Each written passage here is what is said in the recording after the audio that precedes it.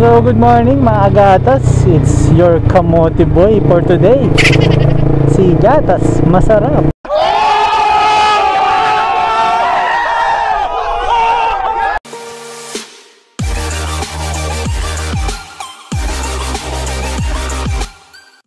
Wow! ah, papa-adjust na. Tuk, yung yun. Ginagawa mo? So yun mga gatas, magpapabaklas ako na. Hindi mo papabaklas. Magpapabawas lang ako. Pabawas tayo ng kadina. Kadina? Kadina talaga, kadena. Ng ating poging, si Pogi. Papabaklas lang tayo ng, hindi nga magpapabaklas. Ang kulit-kulit mo naman eh. Magpapabawas lang. Magpapabawas lang tayo ng kadena ni Pogi. Gawa nung matunog siya eh.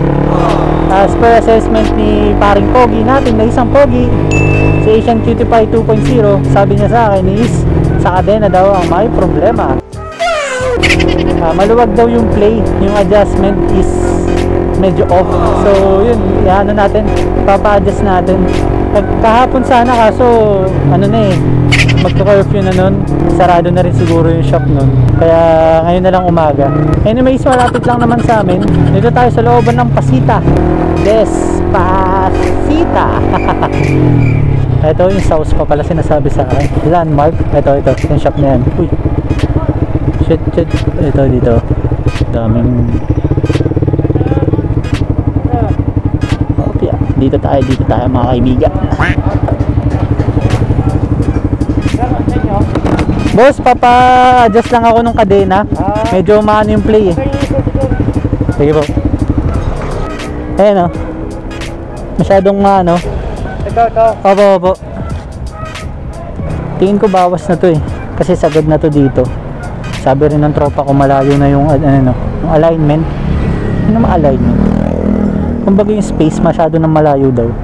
Tapos sagad na to yung play masyado na malayo. Ayun, sagad na pareho eh. So tingin ko papabawas natin to. Konti lang ano, sir? Oo boss, mga ilang kaya yan tingin mo? Tapos lalas, ano, lalangisan natin. Ha? Wala tong center stand boss ha? Ah, walang problema yun.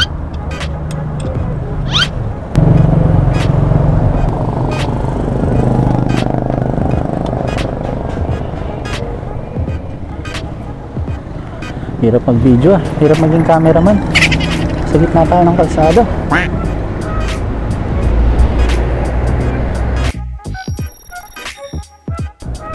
Umipitik ba, sir? Oo, matunog. Parang kumakalinsing. Talaga, sir. Lalangisan natin sa ng kabina, ha? Sige po. Hindi, para ano.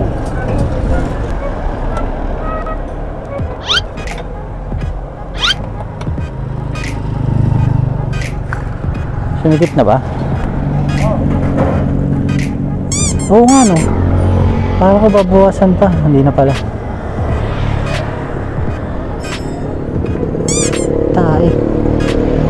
Lang.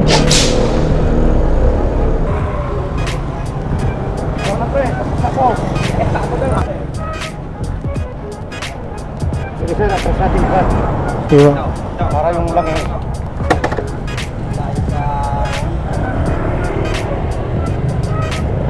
Okay na, sir. Malapit na magsagad yung adjust. Ah, kaya pala eh. Kaya pala iba natunog. Oo. Pag nagsagad yung adjust, puputulan. O, puputulan ng gano'n, no? Ah, wala pa. Hindi pa kailangan putulan. Pwede pa. Sinaglit lang ni kuya. Medyo, ayun, nawala na yung kalinching. Kalinching yung naririnig ko kasi may naririnig akong kalinching. Kalinching, ching, ching. Yun pala yung kadena na yun. Papa-adjust na natin kasi parang mayroon pa rin akong naririnig. Chijing, chijing, chijing. Pero hindi siya kalinching, kalinching, kalinching. Iba na naririnig ko eh. Ito ang, nandito si Asian Cutie Pie 2.0. Ito muna tayo sa gilid kay Asian Cutie Pie 2.0.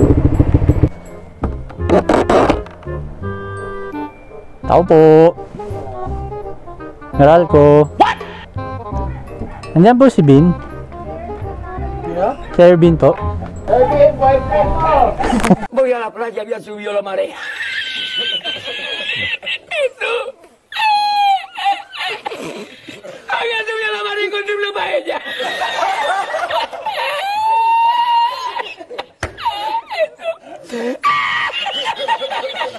Y la encontré porque te estaba, estaba la paellera. Llegaba la agua al restaurante.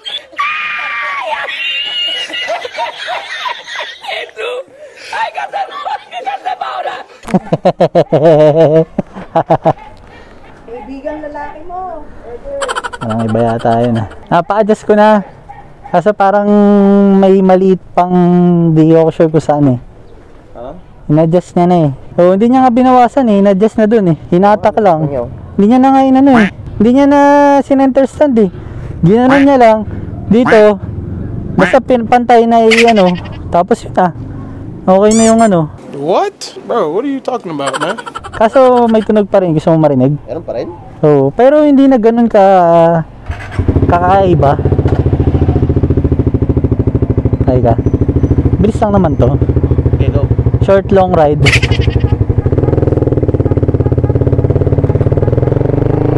Kalabang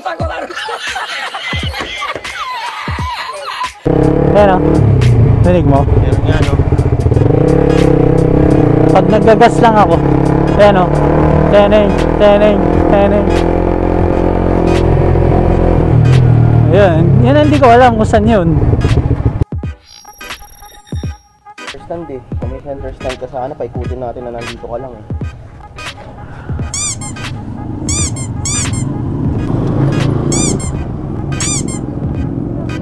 So parang ano pa. Adjust pa ng konti.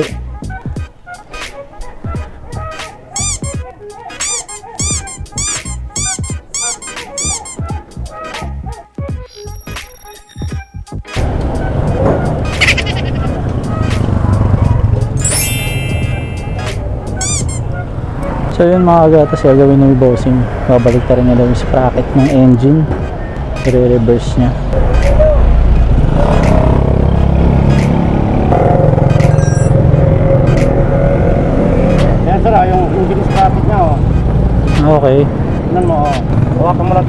Sige po, sige po.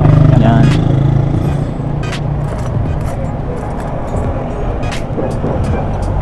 Yung mga pang-export.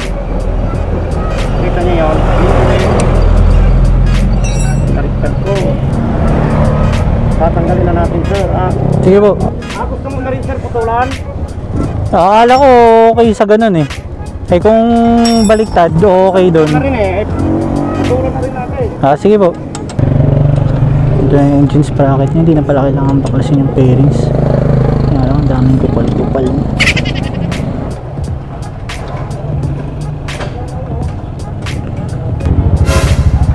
Dumi-dumi mo! Marunong sir, talaga. Oo nga eh. Ano yan eh? Rasa.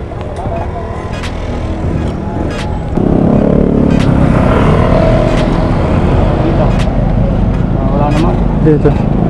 Tatanggalin mo para no. Grabe, napakakapal ah. Wow, nililinis parami ng gasolina yan. Hindi, wow, wow, wow.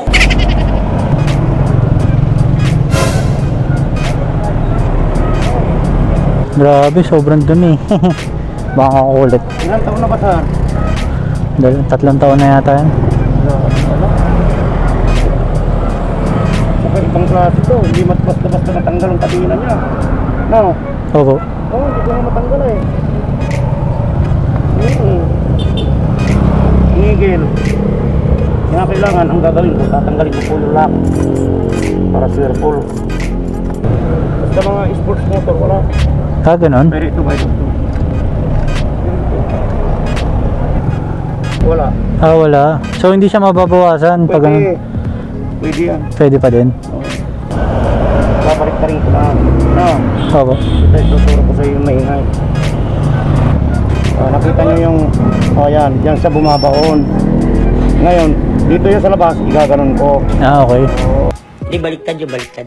Ah, Baliktad. Ginaya ko lang si Bato sa'yo, binaliktad yung talim.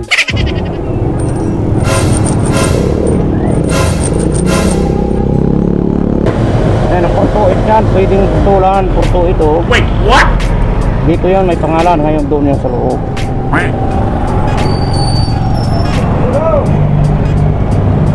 One eternity later. Grabe ano, hirap na Ano na? Hmm, hirap na ano nyo Tulang ko na lang, tawag nyo na lang. Diba?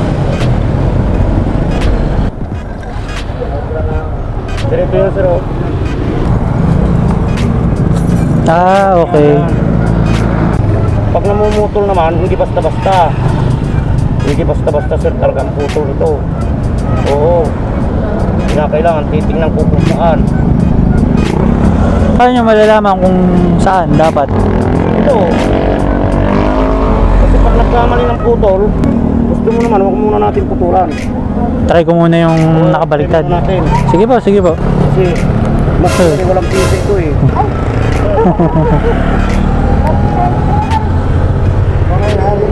Ayun na lang, binaliktad lang yung sa sprocket. Tapos sinadjust, tapos babalik na ngayon. Ha? Oo, tumo, maingay siya ako parang kumakaling ching ching, kaling ching ching ching. Noong una, hindi ko napapansin kasi naka-headset ako eh. Kaya nung nalobat ako, napansin ko parang may. Kada ikot niya. Oo. Tama. Oh, sige, ingat kayo.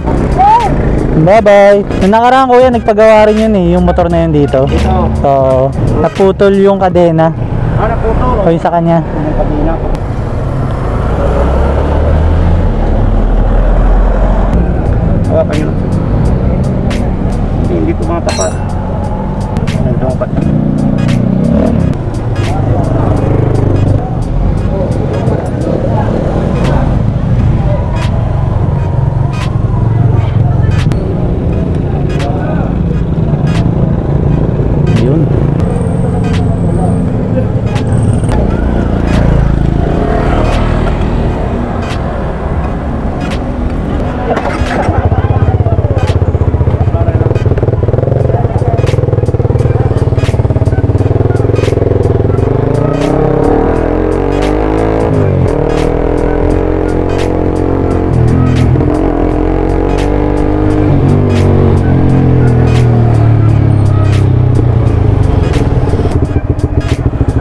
Okay na? Nawala, nawala.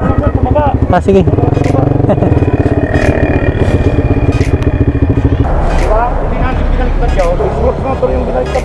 Ganyan. Ah, ganun rin yung problema nun.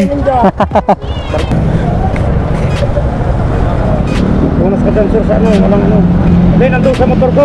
Ito, wag dito, lipat-lipat.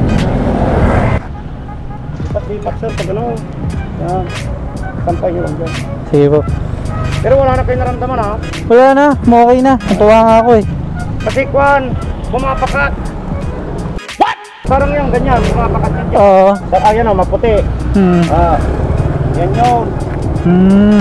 Yung pag kaya pala pansin ko pag naikot siya, na kompleto niya isang ikot may eh Sabi, eh, ah, ganun. eh.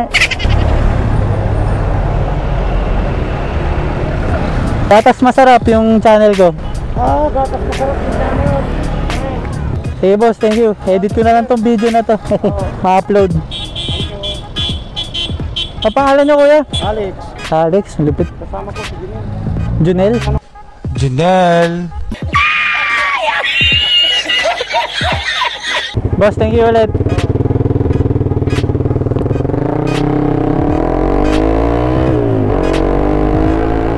Sarap. Nawala na yung tunog na maingay. Kumakalinsing. So yun mga gatas. maraming maraming salamat kay Bossing Alex. Ang lupit. Lupit nung mekaniko na yun dun. Na pag-try lang ako dun kasi dati yung airpods ko naputulan ng kadena. Dinala lang dun. Tinulak namin dun. Malapit lang kasi sa kanila to eh. Nagpa-adjust ako nung ano, nung play sa likod para umano yung kadena kasi maluwag na eh. So na-adjustan na, ganun pa din, maingay pa din. Ngayon wala na. Eh, eh, eh. Wala, kanina wala, wala nang ganun ngayon. Kanina may ganun eh. What? Bro, what are you talking about, man? Kada ikot ng repetition ng gulong, makompleto nyo yung cycle, may marinig ka, eh, eh, eh, ching, kaling ching, ching, ching. Parang ganun yung naririnig ko. Ngayon, nawala siya. Ang ginawa ni Kuya, binaliktad niya yung engine sprocket kasi yung ngipin, yung tulis ng ngipin, hindi na, hindi na ganun ka ano eh, hindi na pantay. Pero okay pa naman yung ngipin niya, per se, hindi pa naman bungi. Pero may onting ano lang. Kaya binaliktad niya yung repetition nung yung repetition, yung full cycle nung ikot nung gulong kadena, nawala yung ingay. Yan, okay na siya. Isang buwan ko na yatang iniinda yun, hindi ko lang pinapansin. So, katulad nga nung sabi ko nung mga nauna kong video, ah, mahirap na pala, kailangan maano ka sa maintenance nito. Kumbaga, alagaan mo talaga, hindi yung basta gagamitin mo lang. Hindi, kailangan papansinin mo yung mga bagay na kailangan pansinin. Katulad nun, may kadena kasi tayo ngayon eh. Hindi katulad nung una nating mot-mot, naka Honda Fit pa tayo scooter. Walang kadena kasi yun eh. So, hindi mo masyadong iniisip yung ganun. Try natin yung, yung pinagawa ng kadena ni Kuya.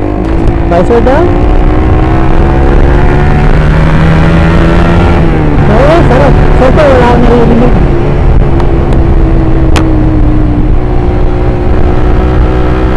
Oh, banking.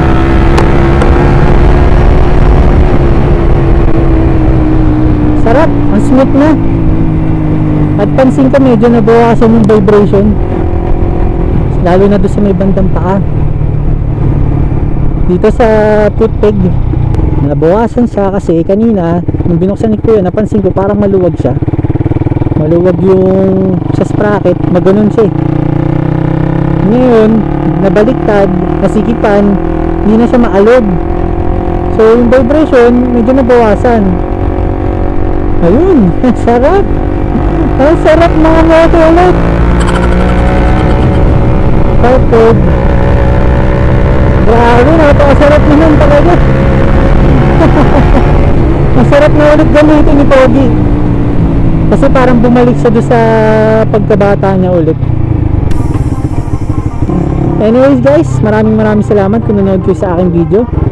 Like, share, and subscribe lang. Ay gatas masarap. So shout out, wash out, peace out.